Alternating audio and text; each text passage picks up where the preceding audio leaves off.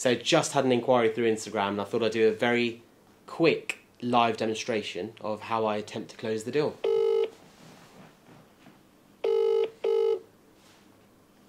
Hello.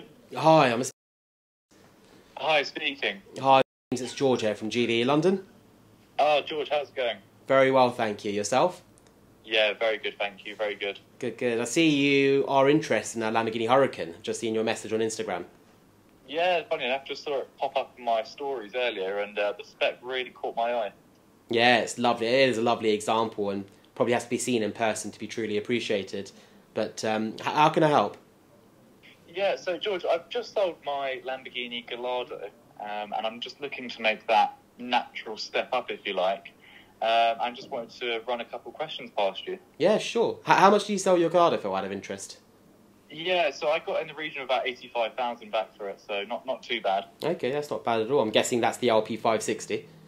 Yes, that's the one. That's the one. Brilliant. Okay. So obviously, with with interest rates gone up currently, it's, is now really a good time to be financing the car? Because obviously, I'm going to be a finance buyer plus plus my, my sort of PX money I've got for the the, the Gallardo. Is, is now a good time to be to be financing? I mean, it, it is a general concern of buyers at the moment with the interest rates. However, when you look at the market as a whole, when you look at the broader context of things, take for example this Huracan. A year ago, this would have been circa 145, if not more, um, for a similar age spec mileage car. Now, in today's market, you're picking this up for £130,000, and that's a saving of over £15,000. Now, calculate the additional interest you're paying with the difference in interest rates, and it would never be a difference of £15,000 in a year's time. So, in essence, um, you're not exactly paying more for the car. Yes, you're paying more interest, but you're getting the price of the car a lot less, which essentially means it's not costing you anything extra. Sure. Okay. Fine. And then in terms of the car itself, I mean, how how's the market performing over the next sort of twelve months? Do you see? Well, uh, the the market has slightly corrected in itself, as I rightly said. That the car's probably fallen in about fifteen thousand pounds um, over the past year. However, I do believe that last year, if not the year before that, the the market was slightly inflated because there was a shortage of cars, and now it's sort of coming to a price correction.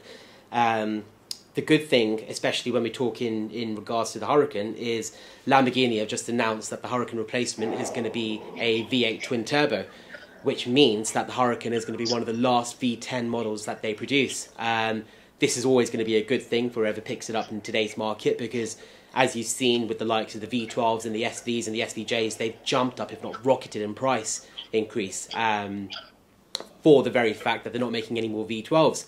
Um, so, yeah, in my opinion, I think it's a great place, place to be. It's a safe place to be, and at that sort of money, at one hundred and thirty thousand pounds, you're getting a lot of car for the money. Okay, fine. And, and my last question is really, if you if you've got a minute, if we could just do a quick quote. Yeah, sure. I'm um, I'm just sitting in front of my laptop at the moment, so I can run through some figures. What um, what deposit are you playing with? Yeah, I wasn't looking to put any more than twenty thousand down, so we, we'll go ahead with twenty.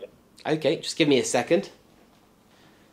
Okay, yeah. So I would recommend for a HP with a balloon deal. Now, twenty thousand pounds down as a deposit leaves you with thirty-six monthly instalments of one thousand six hundred and forty pounds, um, and a final balloon figure of eighty-eight thousand three hundred and thirty-two pounds.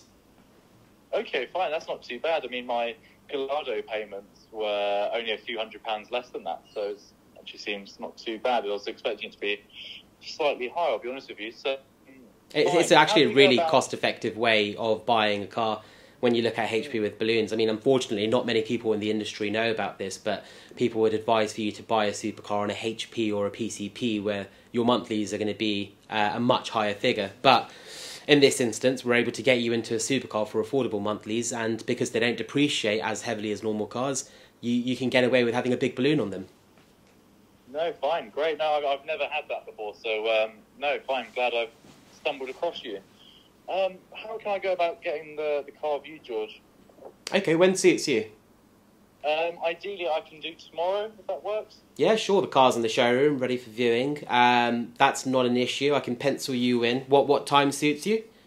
Um, if we can do 11 a.m. Okay, yep, brilliant. I've got a free slot then. And um, would you like to reserve the car in the meantime? I mean, is it is it a necessity, um, or, or how, how does it work for you guys? It's not a necessity. However, I have to warn you that we've had instances where customers make a phone call saying they're on the way to the showroom, and unfortunately, in the space of an hour, the car's gone. Um, I assure you, it's not a sales tactic, but I just want to make you aware because we've had some very upset customers in the past where they've missed out on the car, and especially now you've seen it on Instagram, it is going to be getting a lot of people's attention. Yeah, no, I, I don't want to be losing out on this car, so um, fine. How much have we got to be putting down to secure it? I can reserve this car for you for five thousand pounds.